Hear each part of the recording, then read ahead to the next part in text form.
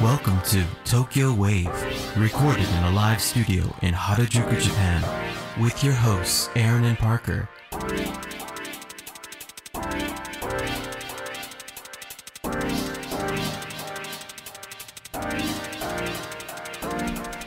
All right, everyone, welcome to episode 12 of Tokyo Wave. We're your hosts, Aaron Randall. and Parker Allen. On Tokyo Wave, we bring you weekly updates from our studio in Harajuku, Join us in segments featuring this week's top news, political happenings, business. and as always, a funky mix of dope music. All right, so to get us started, here are this week's top news highlights. Tokyo 2020 organizers aim for a smaller, simpler, better, faster, stronger Summer Olympics. Japan plans to let in 250 foreigners daily under eased travel curbs. Simian Scramble 70 monkeys escape Chiba Zoo via suspicious hole in fence. This week in Japan. All right, so Tokyo 2020 organizers aim for a smaller, simpler, better, faster, stronger Summer Olympics. French newswire AFP has reported that Olympic organizers are looking at ways of simplifying the postponed Tokyo 2021 Olympic Games. In an exclusive interview with AFP, International Olympic Committee President Thomas Bach said that officials were studying 200 proposals to simplify the games. President Bach stated that the impact is huge, as you can imagine. It never happened before that we had to organize a postponed Olympic Games. So we are looking together with our Japanese partners and friends on ways how we can simplify the organization of the games, how we can reduce the complexity, and how we can save costs for these postponed games. The 2020 Tokyo Olympics were supposed to begin on July 24th of this year, but in March they became the first games outside of war times to be postponed. They are now scheduled to start on July 23rd, 2021. Tokyo Organizing Committee President Yoshiro Mori said that the Olympic Games used to be conducted in an extravagant grand splendor, but in the face of COVID, would that kind of games be accepted? The world has changed. Socially, economically, and medically, we are going to replan and reposition the games organization. Christophe Dubi, the IOC's sports director, said that in order to simplify the games, officials were looking at service levels and the need for goods, operations, and venue management. From our previous games, we've seen that sometimes we overplan and underconsume. We will not let any stone unturned. The result will be positive. Spoken like a true Doobie brother. However, some officials have expressed concerns that the Olympics cannot take place even in July next year if the virus is still active. In the same interview, Bach denied the IOC had set a deadline for a decision on whether the games could go ahead. There is no timeline and no deadline for this. If we have learned something during this pandemic and during this crisis, it is that the issues evolve by the day, sometimes by the hour. Therefore, we cannot set a deadline now to say the conditions at this point in time have been as such. We are working on the success of these Olympic Games and we are concentrated on July next year together with Japan. We will stick to our principle that these games will be organized in a safe environment for all the participants. In order to accurately assess uh, these games, we've given the plan to the uh, secretary to the director of the vice president of the IOC Committee Foundation for Sports and Wellness. And after their plan is finished, then we'll pass that on to the uh, receiving ambassador for sports and technology uh, in Germany. And I'm just- I'm just- Well, you know, so uh, also the IOC has said uh, right after this development that right now canceling the games is not on the table. Oh, wow. Oh, wow. But they said uh, that we're not thinking about it right now. Okay, they're not thinking about it. Yes, it's not on the table now, but it might be like, whoop, oh, now it's on the table. I guess we should have set a deadline. and so that there are some rumors that, you know, what is it, by this October or next March? I think this October is one deadline and then next March is another deadline. But uh, I don't know. They said that the deadline's not a deadline. I mean, That's ridiculous. it's just a line. It might be dead, it might be alive, but uh, There's no line. Yeah, I mean, I think uh, we'll probably talk about it later in the podcast, but the, I think the real determining factor here is going to be when are they going to open up travel, right? Uh, definitely, yeah. definitely. That- well, you know, honestly, by next year, I feel like there's going to be some kind of games, but I think that this does suggest that they are seriously considering what kind of games. Mm. And I mean, obviously, it's going to be scaled down, and it might be spectacularless. I mean, it is. That's a big question. I think Live that- on Zoom. Yeah, I. Usain Bolt, we can see you run really fast, but you're on mute. All right, next up, Japan plans to let in 250 foreigners daily under eased travel curbs. Or 250 gaijins a day to keep the corona away. Good one. Kyodo has reported that Japan plans to ease its coronavirus travel restrictions by letting in up to around 250 foreign travelers per day from Australia, New Zealand, Thailand, and Vietnam, government sources said Thursday. The quota, which Japan aims to introduce this summer, will initially apply to business people, sources said, adding that the government task force on the virus response is expected to finalize their plan soon. Japan currently has an entry ban in place for 111 countries and regions, with foreign travelers who have been to any of these areas within the last two weeks being turned away. Prime Minister Shinzo Abe told a parliamentary committee that we will continue to carefully consider ways to partially resume international travel in stages while taking care to prevent infections from spreading. Foreign travelers who come to Japan under the quota will be required to hand in negative results from a PCR test taken before their departure and another one taken when they land in Japan. In true Japanese fashion, uh, visitors who come in over the quota will have to wait in a long line. They, they love those lines. I, I wonder what they're going to do, how are they're going to enforce this quota. I mean, Mm, yeah, especially during peak travel season and oh, you're number 251. Sorry. See you tomorrow. They will also need to submit an itinerary detailing the hotel they are staying at and places they intend to visit and refrain from using public transportation, the sources said. They may be asked to keep GPS data on their smartphone to make it easier to conduct contact tracing in the event they are found to be infected. So, business people such as executives and engineers will be given priority, with students and then tourists set to follow later. The government is also considering setting up stations to conduct these PCR tests on people leaving Japan, as some countries have begun opening their borders to those who provide negative results. According to the Japan Ministry of Foreign Affairs, 181 countries and regions have imposed travel restrictions of some kind on Japan, including Australia, New Zealand, Thailand, and Vietnam. So it goes both ways. So, the easing of these travel restrictions, of course, is expected to be mutual. So, right now, discussions are being held with these countries on how to go about doing this without risking further spread of COVID. They're also trying to work details such as how many from each country will be let in and how freely they will be allowed to move once at their destination. Japan chose the four countries for the scheme because they have the outbreak under control and due to their strong economic ties with Japan. Depending on the situation, the government will consider expanding the list later to other countries, including China, South Korea, and the United States. So, you know, Parker, for me and you being Americans here, and for a lot of our colleagues uh, in the US and in Japan, this is uh, quite a buzzkill. That's right. You know, so actually, for those stuck outside of Japan, of which there are many, there is a bit of news. Uh, it looks like the Immigration Service Agency has recently posted to its official website a list of special cases of long term foreign residents being accepted to re enter into Japan.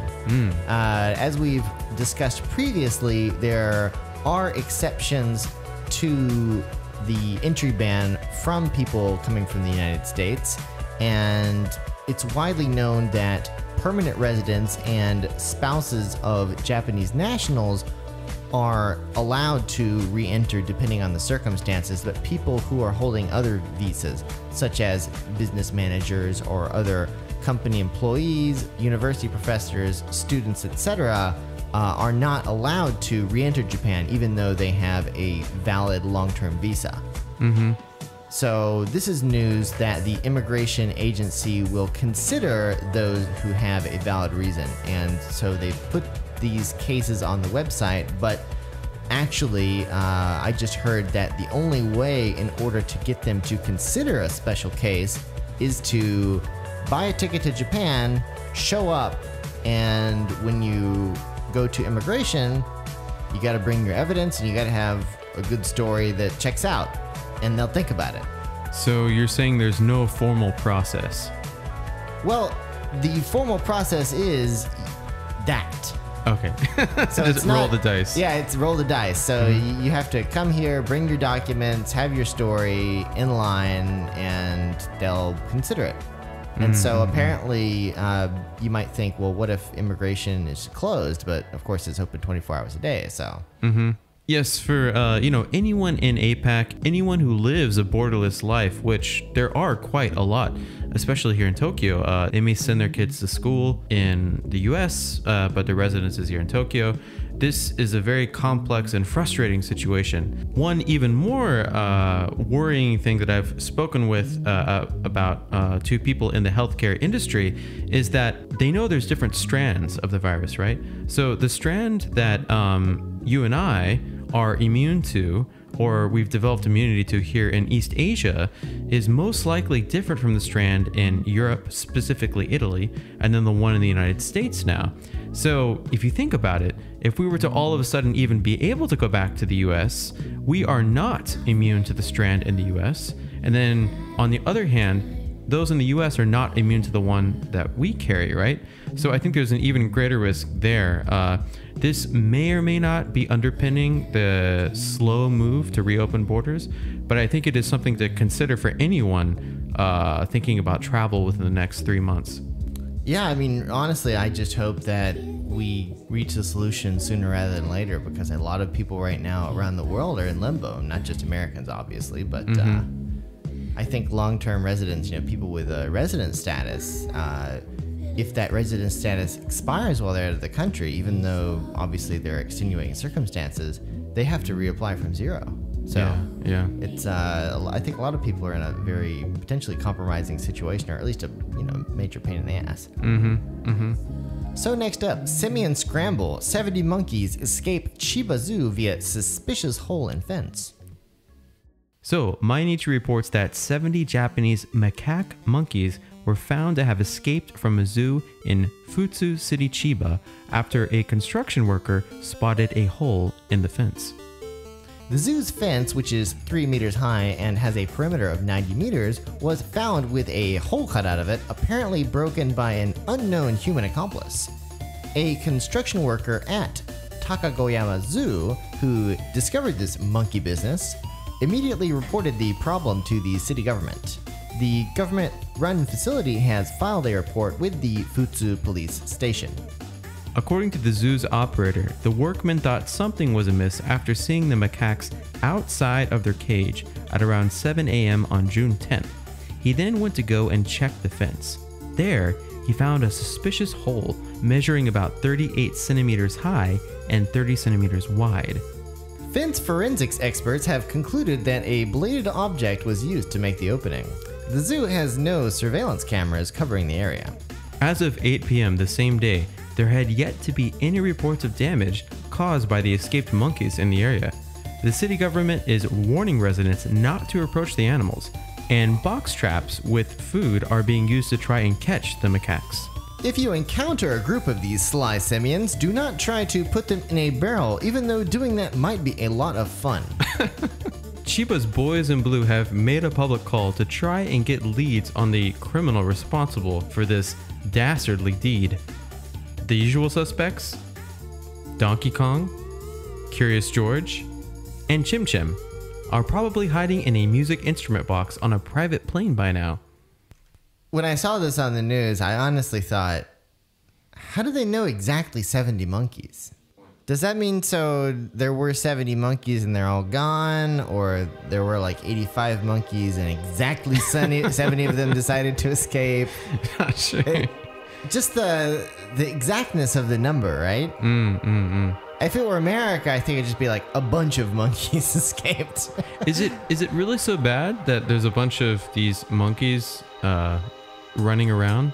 Well, you know, in Nikko, they, they just kind of hang out, and uh, there's also that place in what Nagano Prefecture where the monkeys go to like this onsen and just kind of chill. Dude, yeah. Actually, I love watching videos of that. It's so relaxing. Yeah. The monkeys are just chilling out. And so, honestly, I mean, maybe the monkeys are smarter than we think they are, and they like kind of like human evolution. They figured out how to cut a hole in the fence Yeah. in a perfect 30 by 38 centimeter circle, and uh, they they emancipated themselves. I mean, it's it's possible, right? It sounds almost too easy. I mean, even if it was some animal rights activist, I mean, it's it sounds like a really easy execution. Uh, just a small hole. And there's no security cameras. Wow, wow. But I mean, what kind of person would do this though? I mean, it's like I gotta free the monkeys. Some drunk animal rights activist. Not sure. You know what, Aaron? I think uh, we, we have a new calling. We have to go around the country freeing the monkeys from their monkey oppressors. Oh man. it, it can be a little depressing seeing all the animals in the zoo sometimes, though. You know. I have a, a favorite park in Zushi at the top of this mountain, and they have this little cage full of monkeys. And they, you know, you look at them, you look at them, and they look so much like humans. I mean, you can really kind of feel the evolution just looking at the monkeys. Mm-hmm. And uh, sometimes they look at you like, you know, you want to let me out of this cage, bro. Come on. Yeah, yeah. I mean, they. Your ancestors were like me. Help a monkey out. same psychology. All right. Next up on the weird thing of the week, we're going to talk about the release of the PlayStation 5. Number five. You're now listening to Tokyo Wave. The weird thing of the week. Oh, According to What Hi-Fi, the PlayStation has always offered more to the audiovisual world than just games. It has scored well with DVD playback, Blu-rays, and 4K streaming over the years. So, the PlayStation 5, now the fifth PlayStation in existence since the original launch in 1994, what will it have to offer at launch? Will it be 8K? Will it support, you know, some sort of new optical media? What's the release date and how much will it cost? Yeah, I think the last two questions are the, the biggest ones on everyone's mind. So, from today, we now have more concrete information than ever before thanks to the just streamed PS5 Games event, um, which was postponed to respect the Black Lives Matter movement following the death of George Floyd.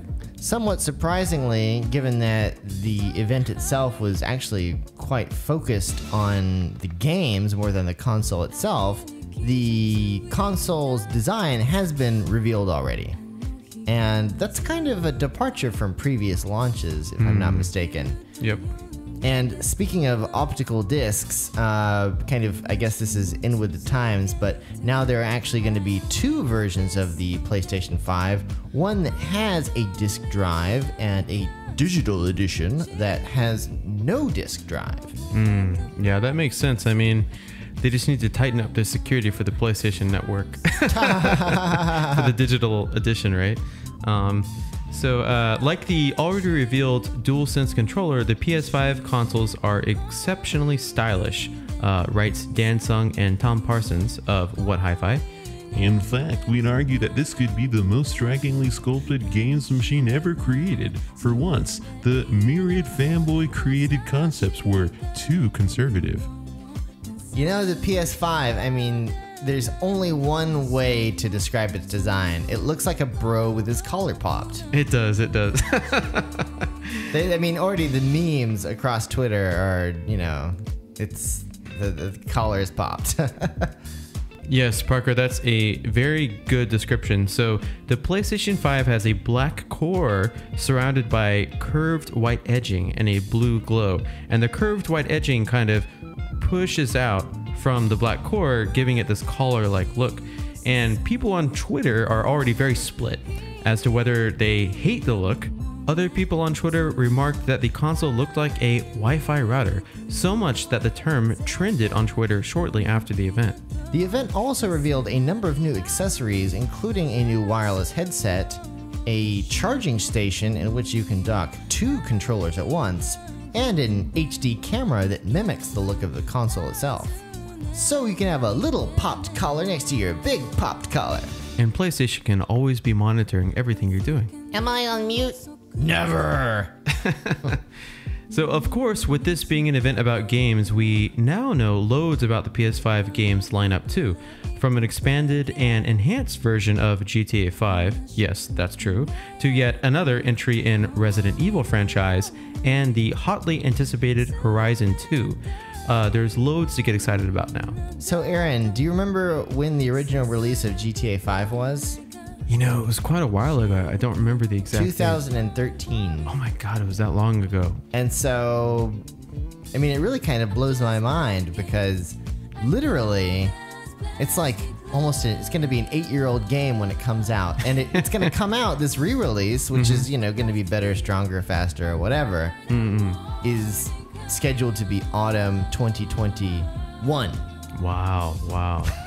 And so, wait a second. So we actually don't know the actual launch date for the PS5 yet, but I'm sure it's going to be sometime in the somewhat near future. But why can't this eight-year-old game come out earlier than more than a year from now? I mean, what are they gonna do? I'm every GTA fan right now has uh, been asking this question and is asking it still.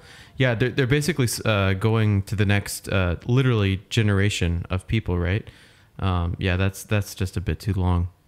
Well, and also, I, I think the real question here, and I mean, I'm a big uh, GTA fan, so I'm kind of miffed at hearing this, but I think this also means that we're not going to see GTA 6 before then. Oh, and no maybe way. not for a while afterwards. No way, no way. Yeah. So yeah, I mean, you know, wait, it's like uh, GTA and Daft Punk, two things. You just gotta wait a really damn long time to get a new one. So, on the topic of release, according to the BBC, Sony's machine will launch alongside Microsoft's rival Xbox Series X before the end of this year.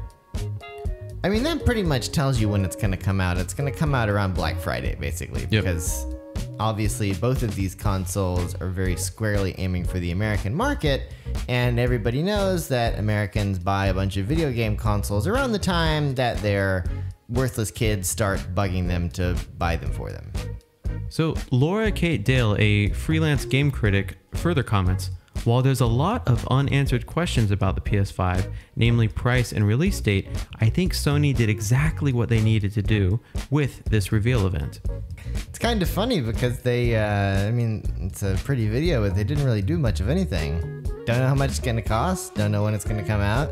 Just know that it likes to pop its collar, and there's a bunch of games that are gonna come out that have been out for half a decade. No, yeah, uh, Parker, we, we, we watched the reveal video just uh, about an hour ago. the balls! The blue balls! It's these uh, They're trying to tell us something, I mean. these 3D animated, you know, blue and black balls uh, for like for almost like a minute, right? Yeah. And it's like, okay, what? then the balls start going up and down, they like make a wave, a wave of Yeah. blue and black, black balls. Yep, yep. All right, so talking about price, how much is this thing going to cost? So the PS5 price wasn't revealed during the uh, event, um, and it's likely to remain under wraps until closer to launch. Uh, if we look at other PlayStations, the original PlayStation and PS2 launched right at 299 USD. The PS3 started at 499, and the more recent PS4 came in around 399. It's widely believed that a price north of $400 is a receipt for trouble, but given the technological envelopes being pushed by the PS5, we wouldn't be surprised to see Sony take the risk. Those uh, blue balls don't come cheap, buddy. Yeah, and uh, you know they have uh, the two different uh, PS5s, and then uh, in the in the promo video, there was um, there was another clip that came after they showed the two, and it had a bunch of accessories, right? As we mentioned. Yes, yes. I, that's got to be way, way north of 400, probably six, seven hundred dollar range. I'd guess. You know, I wonder if there's going to be a new optical format. Because if there's an optical slot, I mean, you think they're still going to go with Blu-ray? I mean, with you know 4K and 8K and all these Ks, you know, games of course are getting a lot larger. So Yep, I wonder if they can even fit a PS5 game on a Blu-ray anymore. Good, good point, good point. The price of the PS5 will also be uh, impacted by the trade war going on now between China and America when it comes to manufacturing and shipping. Back in June 2019, Nintendo, Sony, and Microsoft issued a joint statement warning of such price rises if the trade war continues. So already, uh, Bloomberg is saying that Sony is having troubles keeping the PS5's cost down due to components inside, such as DRAM and NAND flash memory. So this seems to suggest that the price of the PS5 is going to be higher instead of lower. Yep. So, you know, this issue with uh, price for the PS5 is going to be a really big deterrent for an already huge user base of PS4 users. So, um, on the software side, um, consumers have purchased about 1.15 billion games for the PS4 worldwide. Um, that comes as Sony touts 103 million monthly active users and 38.8 million PS Plus subscribers. So Sony already has a huge user base of PS4 consoles and games that they need to continue to support. And it's going to be pretty tough to convince consumers to buy this new console if they can't uh, keep the price down. You know, a lot of um, people in the game community too are focused on the fact that the PS4 is just now creating games that utilize its hardware to its full capacity. Um, most recently, with the Final Fantasy VII remake, I think that we're seeing uh, the PS4 at its greatest. So it's kind of a weird time, uh, in my opinion, to release a PS5. I know uh, it, it makes sense uh, looking at their timeline from the 90s up until now, but um, really, uh, I think Nintendo has a better approach right now in that they are maintaining with just the Switch and supporting that user base. And Sony would be pretty smart to follow in that same direction. At the same time, though, I feel like probably Sony's position is that they're trying to keep that wave and keep that momentum because I mean, if we do know one thing about console wars is that things the tide can turn very quickly. Mm, and true. so I think if Sony were to, you know, get lazy and sit on their hands and just say, "Oh, I mean, the PS4 is great, so just keep playing that for a few more years, you losers," uh, then I would I would imagine that you know Microsoft or Nintendo or both would use that as an opportunity to sneak up on them with something that would ruin their popularity. Mm-hmm, mm-hmm. All right, and next up on Japanese Politics Wow, we're going to cover how there's been great scrutiny over Tokyo Governor Koike's graduation credentials.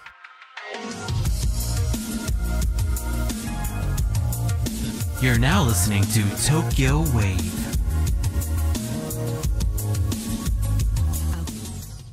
Japanese politics. Wow. Cairo University in Egypt has issued a statement acknowledging that Tokyo Governor Yuriko Koike graduated from the school in 1976, which is a outright denial of media reports that she had faked her academic credentials. And this is in response to a Shukan Bunshun tabloid article that came out a few days ago that accused uh, Koike of not actually having graduated from Cairo University and submitting a fake diploma as supposed proof of her graduation. And so this is actually related to a new book that just came out on the subject. And also, there was a press conference at the Foreign Correspondence Club of Japan just a few days ago by some legal experts who seem to support this claim that her academic credentials are not proper. Wow, wow, wow. So, what's the basis for this? Do you think this is a smear campaign? Most definitely. And so obviously, you know, it's 1976, so mm-hmm.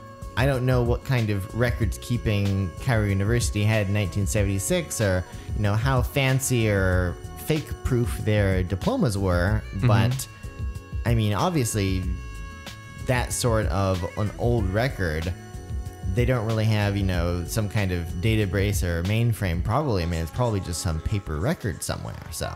For sure, for sure. I mean, even hearing uh, that a Japanese national went to Egypt for school is pretty rare in and of itself, right? So I can imagine the public Yes. not believing it or be, Well, and it's actually so that's actually a big problem because personally, I think that Governor Koike did graduate from Cairo University, mm-hmm. and I do think that this is a smear campaign. Obviously, I'm not a professional diploma checker, nor have I seen the actual diploma, so I mean, this is just my opinion, but obviously the timing is very suspicious because Koike is right about to announce and just actually has announced her intention to run for re-election where she is widely seen as a shoe-in as both the LDP and Komeito have said that they are not going to run an opposing candidate. Hmm, okay. And so, other than opposition parties, who, I mean, I think the CDP and the J- Japan Communist Party have said they're going to run Kenji Utsunomiya, who's the same guy who they ran last time. And guess what? He lost. Mm-hmm. So, they're going to run him again in, against the pretty popular incumbent. So, I mean, we can only guess he's going to lose again. Hmm. Yeah. And they picked him based on the likely situation that he's going to lose Mm, and I think there's uh, what is it? Uh, Takafumi Horie, the kind of famous bad boy entrepreneur, is going to run. Mm-hmm. Uh, also, that crazy anti NHK guy is going to run too, Tachibana, Mm. who uh, was funny until he turned out to be a certified racist, and so now I don't like him very much. But really, I mean, you know, Governor Koike is the only credible candidate for this governorship. And Oh, yeah. to be honest with you, I mean, if you remember, do you remember any of our past governors of Tokyo? they were all crap. Right, right. You know, uh, we had, you know, Mr. Uh, I'm a big fat racist Ishihara. Right, right. And, I mean, he was a governor for, I think, over a decade. Yeah, yeah. I mean, Koike has been building up so much momentum too during the whole pandemic. Uh, we see her on TV, on YouTube uh, every day, every night. She's doing lots of outreach, uh, really community-based outreach. Yes, making yes. sure. well, every- I mean, people have even said, and there have been articles suggesting that her response to the pandemic has been even better than the prime minister's. So, absolutely, yeah. As a resident of Tokyo, I mean, for sure. Uh, as a foreign resident of Tokyo, so of course, this allegation from the start, the timing of it makes it look very suspicious, and the statement from Cairo University really harshly criticized such claims, saying that such behavior seriously damages the honor of Cairo University and Cairo University graduates and cannot be overlooked. The statement also said that the university is considering appropriate measures based on the laws of Egypt. wow. So they're gonna crush him with a big fat pyramid. You know, we, we know Koike speaks like really good English. She does lots of uh, broadcasting. And she's English. also fluent in Arabic. And I was just about yeah. to ask. Yeah. And so her Arabic is very good. I mean, obviously, you know, she graduated in 1976, which last time I checked was a long time ago. so, I mean, also, I actually studied a little bit of Arabic in university here in Japan, but Oh, wow. as you might imagine, studying Arabic and Japanese was not easy for for sure. many for sure. reasons, so I'm not very good at it. Mm-hmm. but uh, I have seen uh, well-known uh, interpreters and translators on Twitter actually coming to Koike's defense, saying that you know anybody who's heard her speak Hmm. or heard her interact with various ambassadors and diplomats in Arabic Hmm. know that her ability is very good. Yeah, my only my only comment is get her into power. I mean, uh, the more people we can have that have a good communications and linguistic background. I mean, uh, we need a little bit more of that in the U.S. as well. I'd say. I think it's too late to see if she might switch teams and you know run for office in America. that would be funny. Hey, listeners, that's right. You, you listener, right there. We want your feedback, comments, and ideas. Drop us a line at wave at tokyowave.jp. We will listen to your ideas and we might even try something new. We hope you enjoyed Tokyo Wave. If you haven't already, you can subscribe to our podcast on Apple Podcasts, Spotify, SoundCloud, and YouTube. Join us again next week on Tokyo Wave.